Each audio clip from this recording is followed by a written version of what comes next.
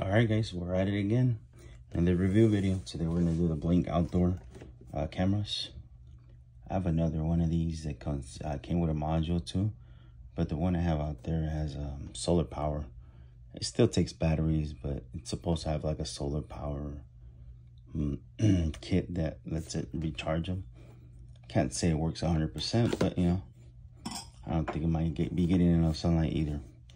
Uh, this one has a two-year battery life or so they say. I'm not bashing on them, but uh, me, I think it's about a six months, and then I got to change them. And I use the rechargeable uh, lithium batteries.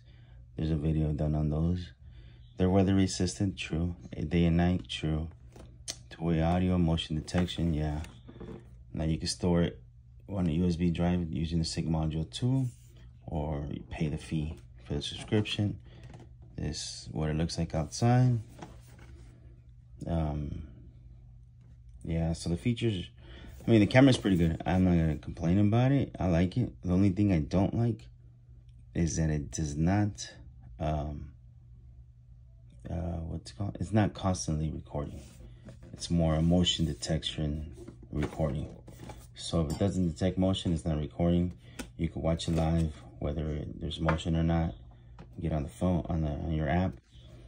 But it's not constantly recording. That's the only thing I didn't like about it. But then again, it probably would take up all my USB. But yeah, if you're looking for something that's uh, constantly recording, this ain't it. This one only detects motion and it records. Instruction manual. Here's the module. Um, if you have a USB, you format it, you insert it in here, and instead of paying the fee, it saves it all in there. It takes a little longer to load, but uh, you know, saves the money. Comes with a USB cord, a base for the module. And this is to uh, take off the back of the cameras. There we go, like so. There's a little cover right here. You use this to, use this to, um, put the box down first.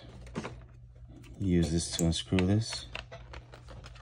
And then right here is a USB charging port once you unscrew this, if I get it to work, oh, that's right. So once you unscrew this, you should see the access port for the cameras, for the batteries. The batteries, you should see the access port for the cameras, batteries, there we go. And there's a charger, same thing, lithium only. You gotta scan this to connect them. And it does come with the batteries included. They give you the Energizer Ultimate Lithium. So they will last a long time.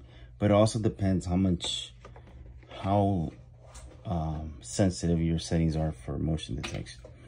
How So a lot of it has to play on that. You know, how often they turn back on, how long they record it. Um, stuff like that. So it comes with these mounts right here. This one goes into the camera. Into the camera's back. There you go. So, they do swivel. You can move the camera however you want.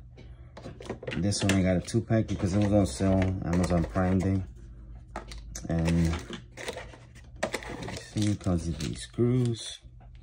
It's pretty simple to install. You just put the screws here, wherever you want it on the wall.